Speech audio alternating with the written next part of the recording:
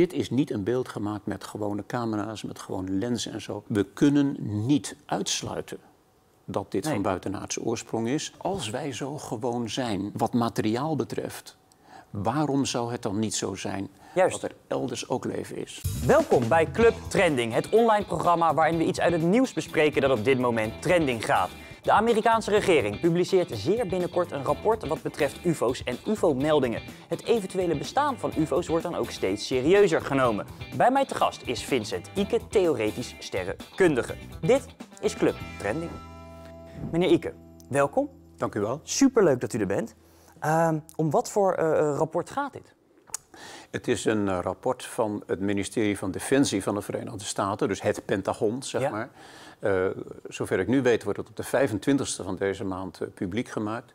En het gaat over eh, UFO-meldingen gedaan door mensen die werken bij het departement van Defensie. Dus onder Juist. andere piloten, mensen die in, in de, hoe heet dat, in vliegtuigen werken Ja. en dergelijke. En, en u zegt de 25e, Ja, dat is deze week. dat is deze week, ja. En is dat heel erg zeker dat het deze week wordt gepubliceerd? Of? Nou, oorspronkelijk had ik gehoord dat het 1 juni zou zijn. Ehm, dat is dus nu de 25ste geworden, maar dat, dat steekt niet op een dagje natuurlijk. Nou, nou, nou las ik eh, van het weekend ergens dat er al eh, mensen in Amerika eh, zijn die het hebben ingezien, het rapport. En die hebben daar wat, ja, wat dingen over gezegd. En dat maakt het eigenlijk nog spannender. Ik, ik citeer even. Dat, dat, dat is iemand die zegt: Het zijn er veel meer dan tot nu toe werd gedacht. UFO-meldingen. En er zijn meldingen van over de hele wereld.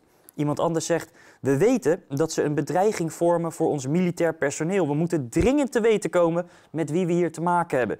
En de laatste: We hebben geen enkele vorm van verweer tegen wat is waargenomen. Nou, die, die eerste, dat is duidelijk. Het Amerikaanse leger is over de hele planeet aanwezig, eh, ter zee, ter land en in de lucht. Ehm, dus dat die meldingen van overal komen, dat is niet zo eh, onbegrijpelijk. Die volgende twee klinken voor mij als paniekzaaien. Ze klinken wel spannend. Jawel, maar zolang je niet weet wat het is, hoef je niet meteen aan je pistool te grijpen. Nee, Eh, nee. Laten we nou eerst maar eens even kijken waar het hier over gaat. Ja. Eh, overigens is het zo dat eh, ik heb ook al een aantal van deze dingen van tevoren gezien. Ehm, eentje daarvan is dat het Pentagon zegt: als dit echte verschijnselen zijn, dan gaat het over dingen die onze technologie, dus de Amerikaanse technologie, te boven gaan.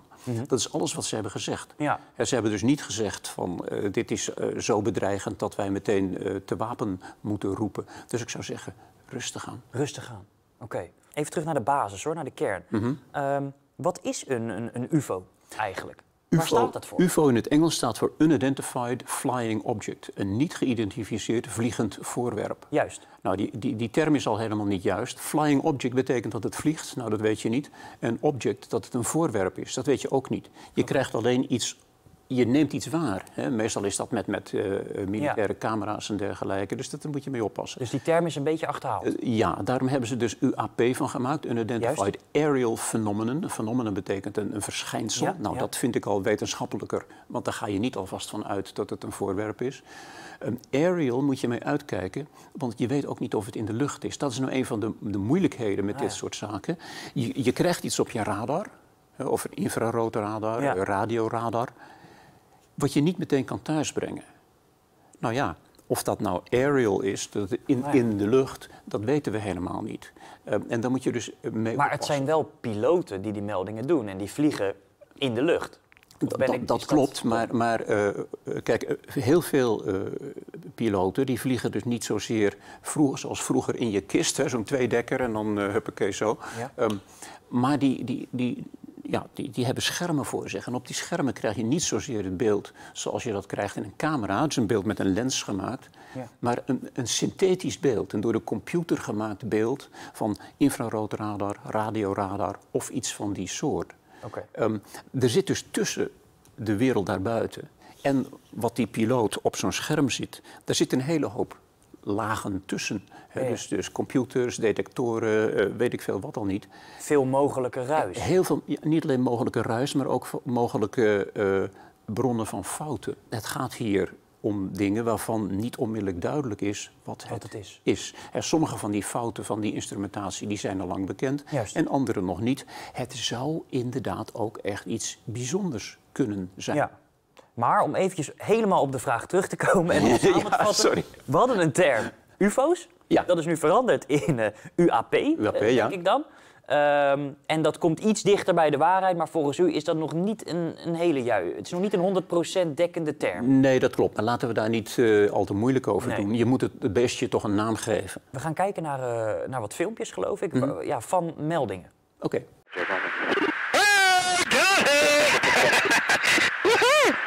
Roger. Uh, there's troubleshooting as soon as I get Did you box moving target? No, I took an auto track. Oh, okay. Oh my gosh, dude.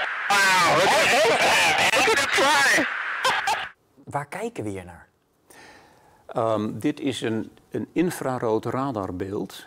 Dus een, een synthetisch beeld, door een, Ja. een, een infrarood radar en een computer gemaakt beeld. Ja? Wat eh, op de display komt, op het beeldscherm komt van eh, mensen in een, eh, een jachtvliegtuig. Juist. En, en dit is de Amerikaanse defensie die, die, die dit filmt. Dit is ja, de, ja, dus de, de luchtmacht, de Amerikaanse luchtmacht, die heeft dit, dit beeld weergegeven. Ehm, wat ik opmerkelijk vind hieraan, is dat, dat dat zogenaamde beeld, dat ding wat je ziet en zo, Ja. dat dat exact in het centrum van dat beeld is. Dat is een beetje raar.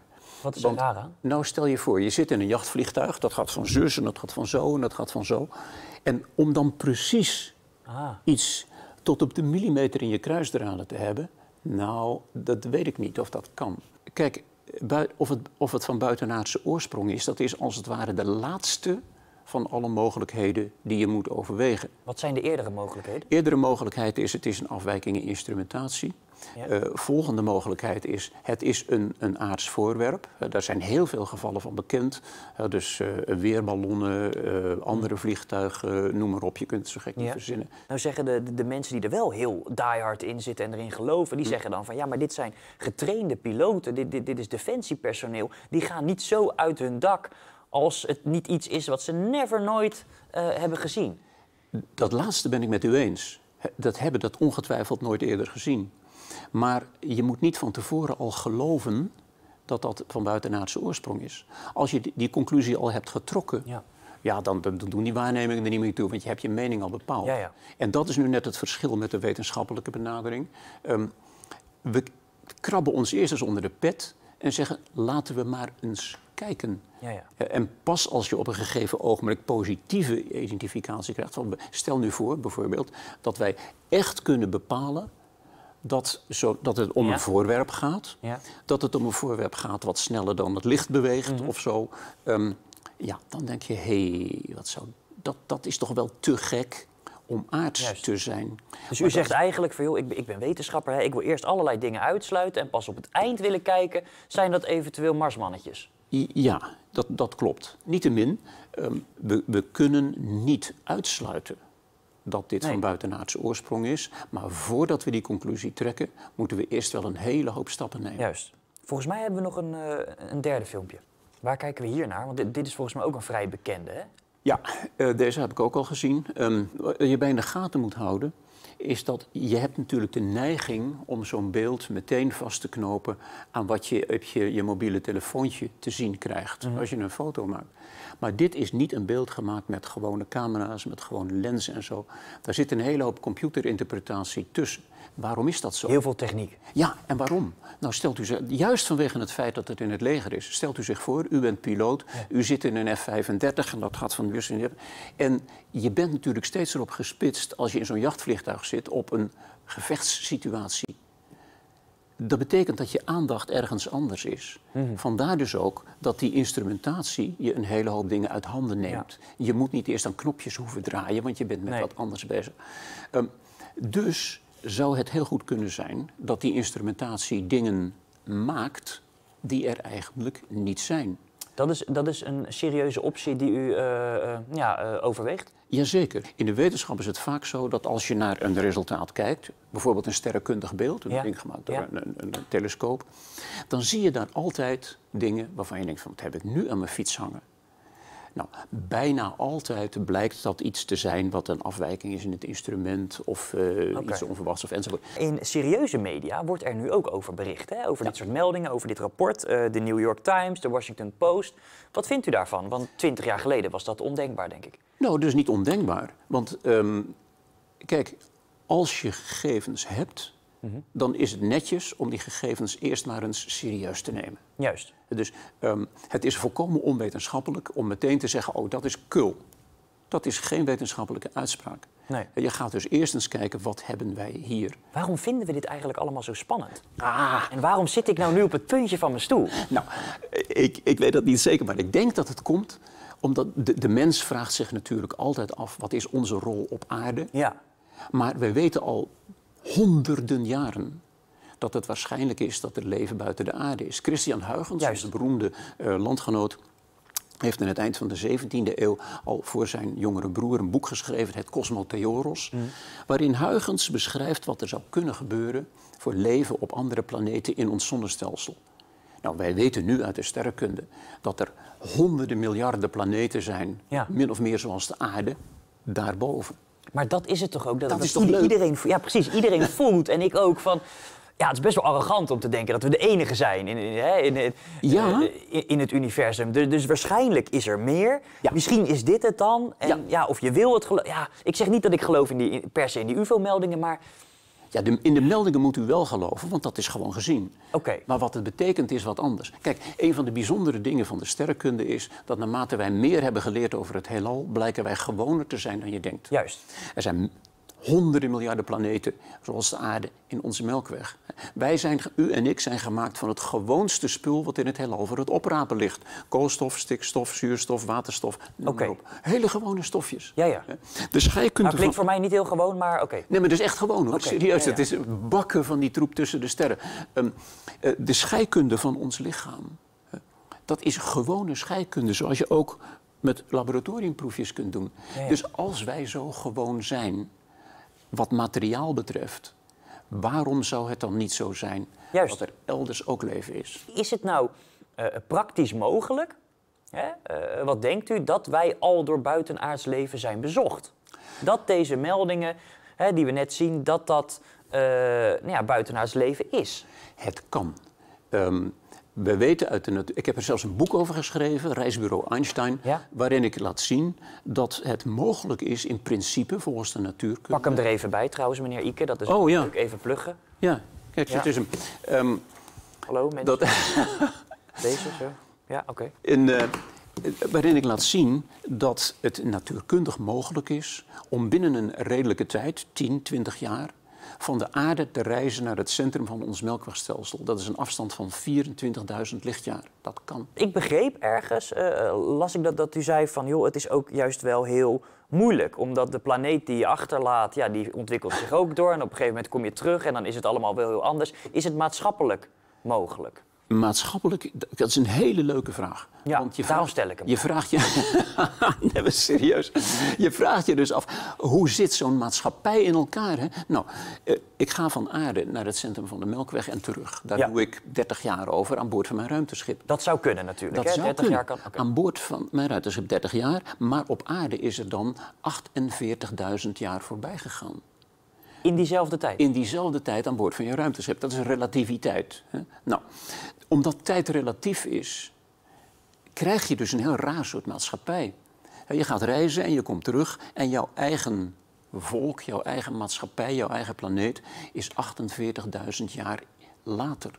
En dat geldt ook voor die eventuele buitenaardse Dat wezens. geldt voor iedereen, want de natuurkunde is gewoon overal hetzelfde. Dus als de eventuele buitenaardse wezens vanuit eh, planeet X hierheen komen en ze gaan terug, doen zij daar 30 jaar over, Ja. maar hun eigen planeet is 48.000 jaar verder. Bijvoorbeeld, ja. Als er dan eh, eh, wezens zouden zijn, hè, die enigszins op ons lijken of, of, of zoals ons zijn, en waarschijnlijk veel verder. ehm, eh, ja, vanaf welke planeet komen ze dan? Welke planeet is het meest waarschijnlijk? Dat is raden. Dat weten we echt niet. Dat weten we Ehm, ook niet. Kijk, tussen de sterren is het leven best wel gevaarlijk. Er zijn sterren die ontploffen, eh, er zijn, zijn zwarte gaten die dingen Ja. opslokken, weet Ja. ik het wat al niet. Ehm, dus het zou het beste zijn om in een rustig stukje van onze melkweg te wonen. Voor onze zon, hè, ons, ons eigen zonnestelsel, is dat zo. Wij zitten ongeveer op twee derde van de rand van ons, eh, planeet, van ons eh, melkwegstelsel. En wij zitten dus ergens in de buitenwijk. Waar Oké. het- waar de- ja, waar- Lekker rustig. Lekker rustig. Oké, Geen, geen, niks aan de hand. Geen supernova's, geen, nee, geen zwarte gaten enzovoort. Dat zal voor de rest waarschijnlijk ook wel zo zijn. Dat weten we niet Ja, zeker. hey, ehm, Wat, eh, wat verwacht u eigenlijk eh, van het rapport? Gaat dit nou echt de wereld op zijn kop zetten? Ja en nee. Het gaat de wereld wel op zijn kop zetten voor al die mensen die geloven dat wij al bezocht zijn door buitenaardse wezens. Hè, die gaan Ja. en gaan die zeggen van, zie je wel, Juist. dat is leuk. Fijn voor die mensen, niks mis mee. Eh, het, is, het is een vredelievende manier van je opwinden, zal ik maar zeggen. Ja. Maar zullen er ook voor iemand als u eh, d- ja, nieuwe bevindingen, schokkende bevindingen in staan, denk ik? Nou, ik vrees van niet en dat is een beetje jammer. Wat, ik, wat ik hoop, maar wat waarschijnlijk niet zal gebeuren, is dat in dit rapport ook een aantal waarnemingen staan die wel verklaard zijn. Want dan is het echt wetenschap. Ah, Dus stel je voor, je ziet zo'n Ja. filmpje en daarna krijg je te horen van het departement van een Defensie... uitleg wat het nou was. Een uitleg wat het nou was. Dan denk je, hé, hey, dat is toch leuk? Dus eigenlijk zegt u van, ik hoop dat ze het blijven verklaren. Dat ze blijven nadenken en dat ze, nou ja, goed, dat het niet... eh, Blijf onderzoek doen. En dat is natuurlijk ook mijn vak. hè. Ja, ja. Omgaan met het onbekende. Juist. Dat is het belangrijk. eh, op wat voor manier wordt dit eh, gepubliceerd eigenlijk? Is dat gewoon dat ze het op internet gooien, Amerika? Of? Ehm, mijn vermoeden is dat het congres al een uitgebreide versie hiervan te zien heeft gekregen. Hè, want het kan natuurlijk niet zo zijn dat de regering van de Verenigde Staten van, van, van de media moet horen wat er gepubliceerd Nee. is. Eh, dus Want die- u gaat er waarschijnlijk ook vanuit dat, dat het congres meer hoort dan, dan de normale burger, dat, denk we- ik. Hè? dat weet ik vrijwel absoluut zeker. Juist. Eh, want er zitten natuurlijk militaire geheimen in die je niet weet, eh, wil weten. Ja. maar de regering moet dat natuurlijk wel weten. Juist. Die zijn daar de baas. Ehm, en dan denk ik dat er een persconferentie komt waar op datzelfde moment het hele zaakje op eh, internet komt te staan. En Ja. misschien ook in een gepubliceerde versie in een boekje of iets van die Juist. soort. En dan gaat het ontploffen, eh, Ja. toch? Het internet, eh, Ja. de media, dat gaat dan helemaal los. Het gaat helemaal los en dat is vreselijk leuk. Ja, Want naarmate er, er zullen ongetwijfeld dingen komen waarvan mensen die zich hiermee bezighouden, die dat bestuderen, denken van, oh, maar dit kunnen wij wel verklaren, want, puntje, Ja. puntje, puntje, puntje. Dat is natuurlijk hartstikke leuk. Ehm, en wat er ook zal gebeuren, is dat er een aantal dingen overblijven waar nog geen verklaring voor is. bedankt voor uw komst. Dank u wel. Ehm, jongens, dit was de video. Eh, reageer even in de comments eh, ja, op het gesprek en eh, wat jullie eventueel vinden van UFO's en UFO-meldingen. En dan zie ik jullie de volgende keer. Hoi!